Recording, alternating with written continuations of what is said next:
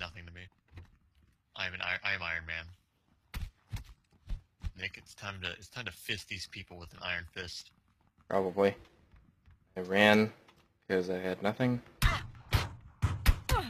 Yep, I'm fucked. No, you're not, baby. Where is he?